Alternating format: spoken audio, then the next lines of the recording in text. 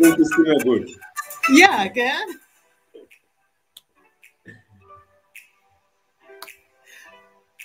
Danke. Super, schön, du bist da. Danke. Lieber Jan, es Lieb, war Mai, als du hier warst zum letzten Mal oder das letzte Mal. Das war Ja. eine große Freude und Ehre für mich. Du hast damals berichtet über ähm, der Weg bis zur Gründung. Dann hast du uns ein paar Tipps gegeben. Heute reden wir auch kurz über deine Firma. Was hast du daraus gelernt seit der Gründung? Und damals hast du uns auch gesagt, du hattest was vor, 14 Kilometer lang zu schwimmen. Denn du bist auch ein Triathlet. Liebe Ja. Zuschauende, Jan stellt sich gleich vor, worüber wir heute reden, im Learning seit der Gründung. Und dann bildet er sich gerne weiter im Bereich, in, also halt aktuell im Bereich ISO 27001. Er sagt uns auch, was die Trends sind. Und zum Schluss haben wir noch ein gemeinsames Projekt. Aber vorher wollen wir darüber reden, ähm, Selbstbewertung, Reifegrad selbst ermittelt oder einfach sinnloses QM einführen. Lieber Jan, ich freue mich, dass du hier bist. Äh, vielen Dank für die Einladung, Susanne. Ich freue mich auch. Und äh, so Tagesdosis für Energie schon genommen von dir. Deswegen, ich bin bereit, ein äh, bisschen äh, Informationen zu teilen und ich freue mich äh, nochmal auch äh, unsere Live-Session. Großartig, großartig. Ja, deine Firma, also der Name gefällt mir sehr gut. Das steht auch auf deinem T-Shirt 360 Digital Transformation. Ja, äh, weil äh, das ist äh, eine unendliche Transformation. Ja, du weißt auch gut, du machst viel äh, Change Management Projekts und Change never ends. Deswegen, wir Ja. haben das ein äh, Kreis gemacht und ich glaube, dass Digital Transformation ist, äh, kann nicht enden. So, das ist immer äh, wiederkehrende äh, Prozesse und äh, zwar, danke, äh, ich mag diesen Namen und Logo auch. Äh, diese T-Shirts habe ich fresh bekommen und einmal in meinem Podcast, YouTube-Podcast, der Digital Mittelstand, äh, das getragen und das ist die zweite Mal. Äh, ich trage das für dich. Äh, und zwar, wir haben eigentlich äh, zwei Kernkompetenzen. Ich, Mhm. also ich stelle kurz die Unternehmen vor und dann äh, mehr wichtig ist die Learnings, damit ich mit anderen Leuten Genau.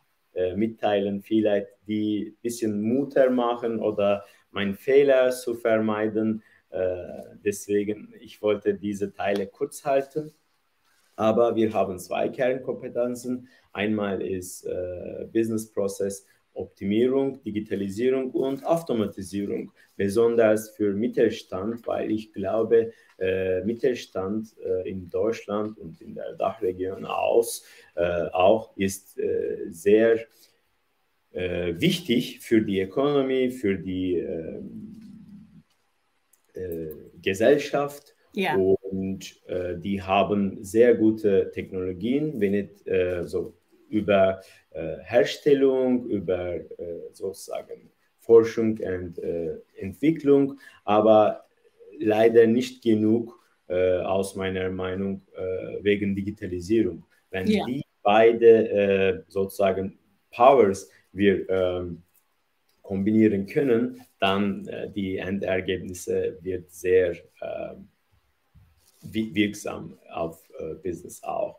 Und die zweite ist, äh, wir haben damals alle TISAX-Prozesse digitalisiert und mein Businesspartner, äh, du kennst Tony auch, er ist Mhm. TISAX-Berater. Dann, äh, wir haben auch äh, als Dienstleistung diese TISAX-Beratung mit diesem Produkt, die wir äh, zusammen entwickelt haben. Und dann bilden wir davon weiter aus, bisschen in der äh, ISO 27000, die ich äh, in kurz nochmal sprechen wollte, ein äh, bisschen in die Richtung regulatorisches Produkt, damit mit DSGVO, neue Lieferantenkettengesetz, auch ISO 27, ISO 29 äh, und auch TISAX-Prozesse, so alle mhm. regulatorische sozusagen ähm, wie hoffentlich kann ich sagen, äh, alle regulatorische äh, Dinge äh, im Weg von Business äh, zu nehmen und äh, mit, äh, mit der Hilfe von automatisierten Prozessen, die mhm. aber auch compliant als Service bieten.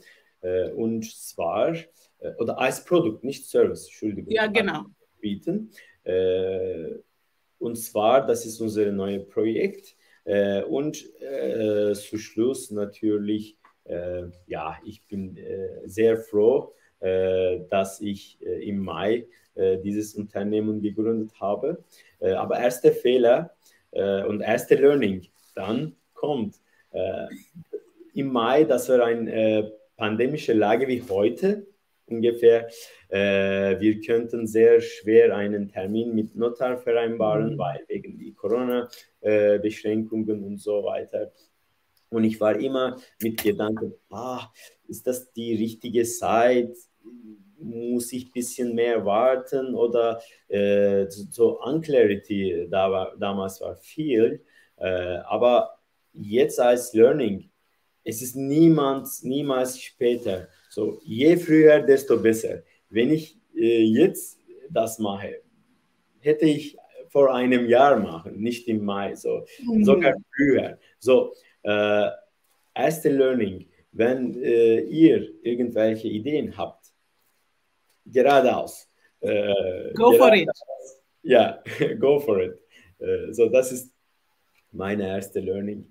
Äh, zweite Learning, äh, ja, wir kritisieren äh, meistens Deutschland und deutsche Beamter, äh, Behörde, die noch mit Faxen gearbeitet und leider nicht äh, digitalisiert und gar nicht schnell.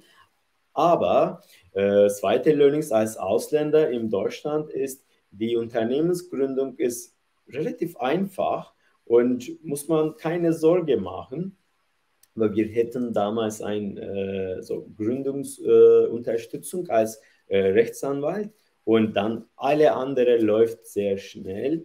So zweite Learning ist, äh, nimmt bitte professionelle Hilfe und macht dir keine Sorge, weil das ist nicht so bürokratisch, nicht so kompliziert. Das läuft sehr eigentlich auch schnell und äh, reibungslos. Sehr schön. Sehr schön. Du meinst auch, die deutschen Behörden können es schneller oder wenn man professionelle Hilfe hat, geht es äh, auch. Ja, ja, äh, aber ja, äh, wir machen dasselbe. Ja? Wenn jemand hm. für äh, Unterstützung für äh, T-Sax braucht, okay, für Sport, du kannst viel allein machen, aber wenn du einen professionellen Coach hast, deine Leistungen ist besser. Äh, das stimmt. Für, für äh, QM, äh, für ISO 21000, für ISO Auf jeden Fall. Auf jeden Fall. Ich glaube, letztes Mal im Mai haben wir auch darüber gesprochen, wie können wir miteinander wachsen, eben was ja. du sagst auch. Und äh, ich finde es großartig, eben Digital, äh, Digitalisierung von den Mittelstand. Dort hat es noch viel Potenzial. Deine Tools habe ich soweit verstanden. Eins davon, äh, davon wollen wir auch noch reden oder darüber wollen wir reden.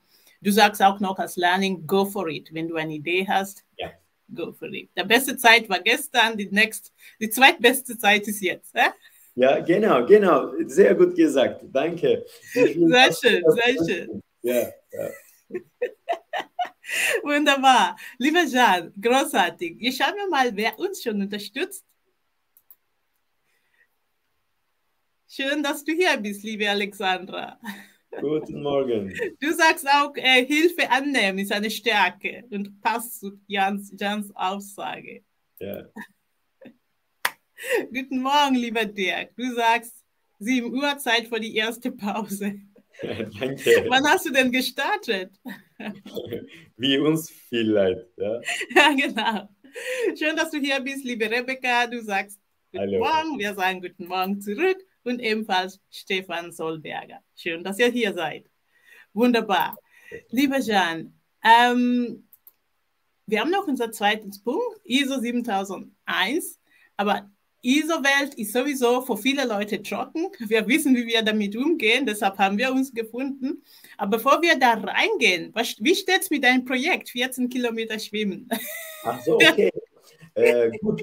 Äh, ich habe niemals so lange geschwommen, so das ist ein Traum, ja. Und ein Traum muss ein bisschen furchtbar sein, bisschen sozusagen äh, auf jeden Fall out of comfort zone, aber noch ein bisschen weiter sein. So mhm. äh, die englische Aussage ist äh, aim for the stars. Uh, in the worst case, you can land on the moon. So, uh, das wollte ich das uh, immer noch machen. Aber in der Türkei, wir haben zwei Schwimmwettkämpfe, kann man von Europa nach Asien und von Asien nach Europa schwimmen. und damals habe ich beide gemacht. Die sind äh, ungefähr äh, 6, 6,5 Kilometer, aber mit der Hilfe von, Hilfe von Strom. So, du allein schwimmst drei, vier Kilometer maximal. Und äh, mein Traum ist äh, von Spanien nach äh, Marokko, so von Europa nach Afrika schwimmen. Und da gibt es äh, Gibraltar und das ist eine sehr bekannte äh, Schwimmweg. Äh, und ist es 14 Kilometer, aber 14 Kilometer schwimme ich nicht allein natürlich.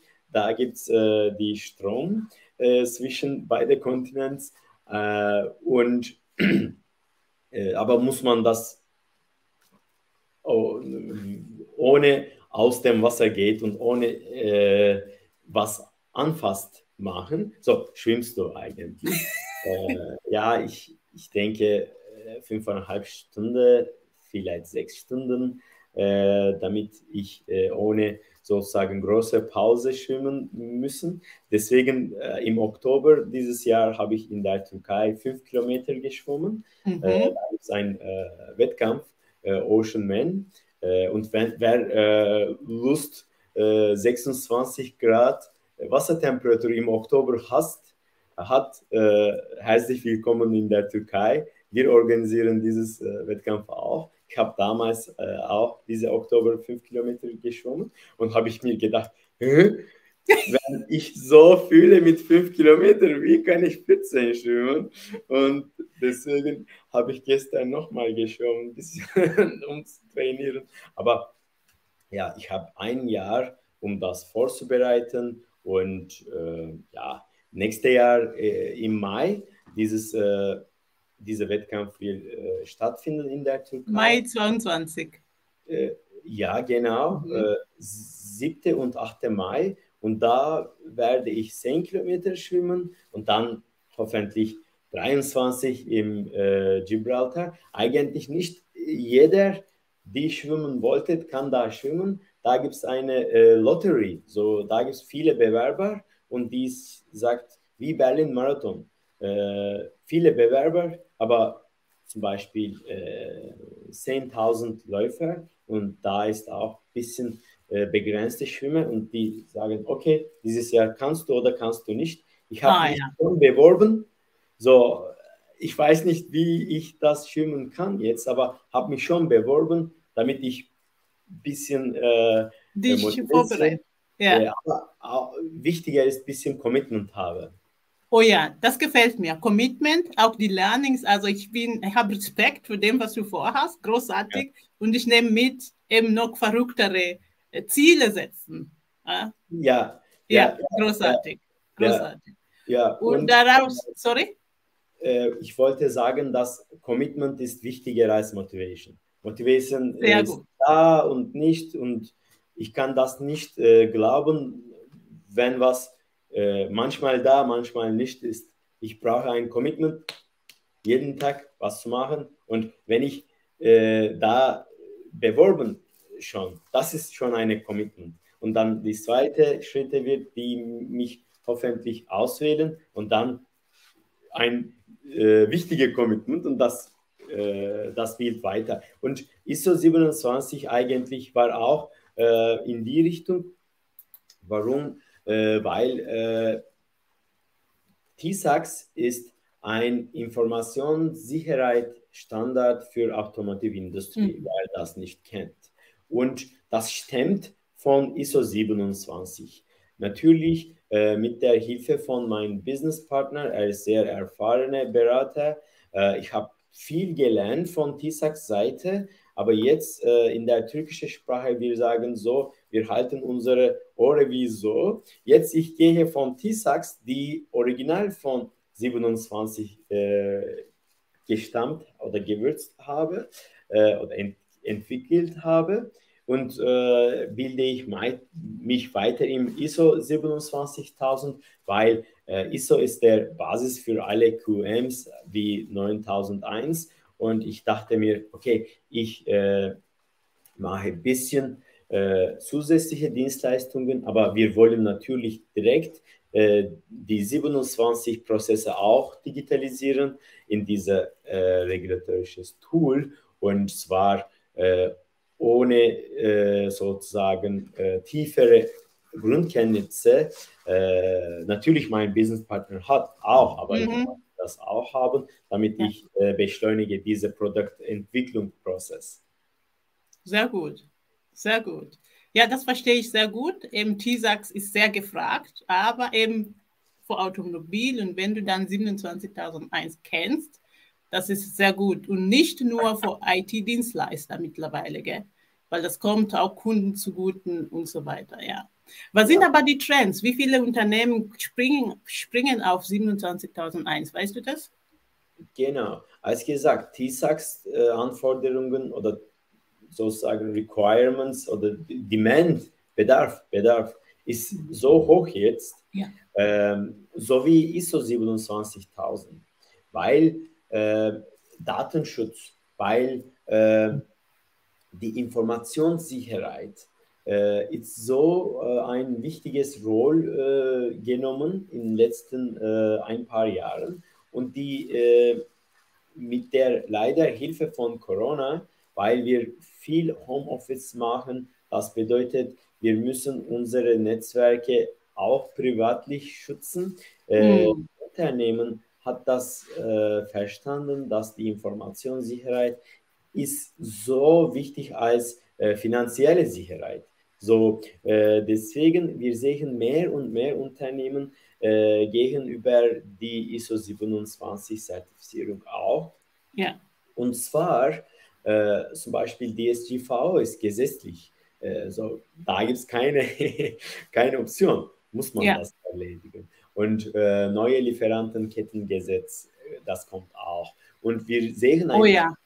viele, viele neue Gesetze, neue regulatorische Rahmenwerk äh, kommt im Spiel und je fit bist du am Anfang mit TISAX, mit ISO 27000, desto äh, früher kannst du dein Unternehmen adaptieren. Und dann aber wird schwer, wenn äh, du hast bisher nichts gemacht und kommt ein neues Gesetz und du bist da, wie Corona. Wenn man vor Corona keine Policies für Remote Working hätte, oh ja. dann hätte ein äh, größeres Problem. So, das ist genau der Grund, warum wir sehen, viele Unternehmen in die Richtung äh, ISO 27000 auch, aber so wie TISAX, äh, sowie ähnliche Zertifizierungen.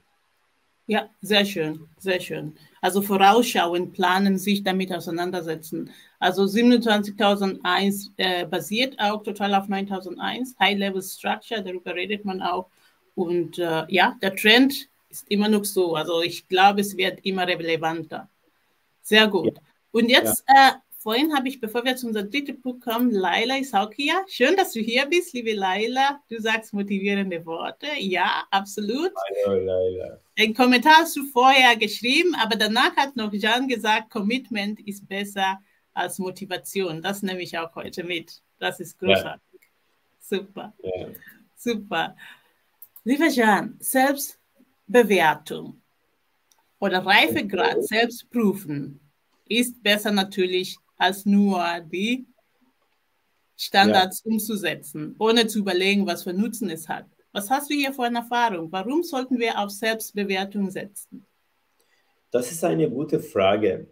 Ähm, wenn wir krank sind und im Arzt gehen sollen, der Arzt hat ein paar Fragen, aber wenn man ein, äh, zum Beispiel etwas Bestimmtes, zum Beispiel ein äh, Knochen gebraucht, Arzt denkt nicht, schickst äh, du nach MR, richtig? Mhm. Weil er wollte ganz genau sehen, was ist los. Es ist nur ein Bruch oder ein paar äh, Brüche. Es ist ein Tendon äh, verletzt oder was weiß ich. Aber das ist so klar für die äh, Ärzte und Ärztinnen, das muss man ein klares Bild haben. Und das ist nichts anderes für äh, Digitalisierung. Wenn wir mit Digitalisierungsprojekten unterwegs sind, wir wollen auch ein äh, sozusagen Bild haben. Dann ein Self-Assessment als Tool kommt äh, Handy. Zum Beispiel für äh, ISO 21000. Äh, wenn ein Institut, das ist für Bildungsinstitut, diese Quality Standards, aber Susan äh, hat mehr äh, darüber zu teilen, äh, dann ist das so einfach, wenn man sieht erstmal, wo bin ich, brauche ich äh, professionelle Hilfe, das ist eine rhetorische Frage, aber auf jeden Fall. Äh, und wie weit ich von meinem äh, Ziel bin. Deswegen, äh, das ist ein, ich vermute, äh, sehr gute Tool oder ich denke, das ist eine sehr gute äh, Tool, ein Self-Assessment durchzuführen, damit äh, die Planung und Umsetzung von diesem Standard ist. Ah, hast du warst du nicht hier? Ja, ich war kurz weg, sorry. Alles gut, ich habe viel gequatscht. So. Sehr gut, so muss es sein. Ja, aber äh, ganz kurz habe ich gesagt, dass äh, das ist ein gutes Tool für Planung und Umsetzung, ein Standard, bevor wir äh, etwas planen. Macht viele Unternehmen, ah, wir wollen ISO 21000 und wir mhm. wollen das, das, das, das machen, ohne dass die wissen ganz genau, wo die sind. Und äh, ein Unternehmen kann nach McKinsey äh, ein Million äh, Euro für äh, Beratung zahlen, ja gut, aber erste Frage, die fragt ist, wo bist du? Was ist dein Status quo? Äh, wir müssen erstmal ja. das und dann, warum? Und so, wo ist dein Startpunkt? Wo ist dein Endpunkt? Dann machen wir eine Timeline jetzt. So, das ist Sehr die gut. erste und wichtigste Frage. Wo bin ich? Äh, und äh, ein äh, Selbstbewertung-Tool, nicht nur für ISO 21000, für 27, für TISAX, für Digitalisierungsprojekte. Wir messen Digitalisierungsreifegrad für unsere Kunden auch in diesem Sinne. ist so wichtig und crucial, damit wir wissen ganz genau, wo wir anfangen. Und über einen 20.000, äh, ich denke, für unsere Zuschauer. Ich habe eine Frage. Was ist 21.000 Susan? Aber Susan ist nochmal weg.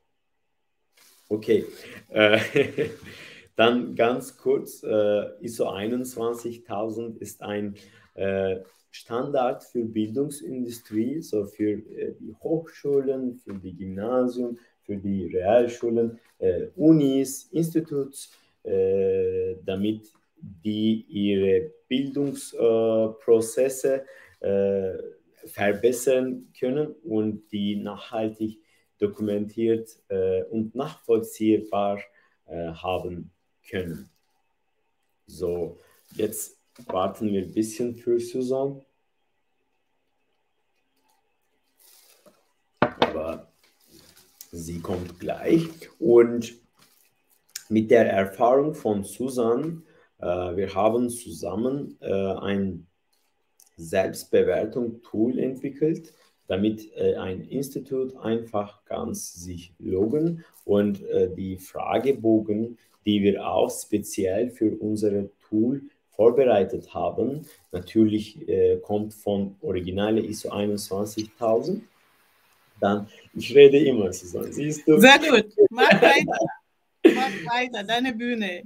Ja, nein, das ist unser, das war eigentlich, ich habe dir eine Frage gestellt, dann du hast Ah, okay, das war keine Absicht. Ich mache das. Wir haben noch ja, vier Minuten, ist, kann ich noch beantworten. Kannst du bitte uns äh, ganz kurz sagen, was ist ISO 21000?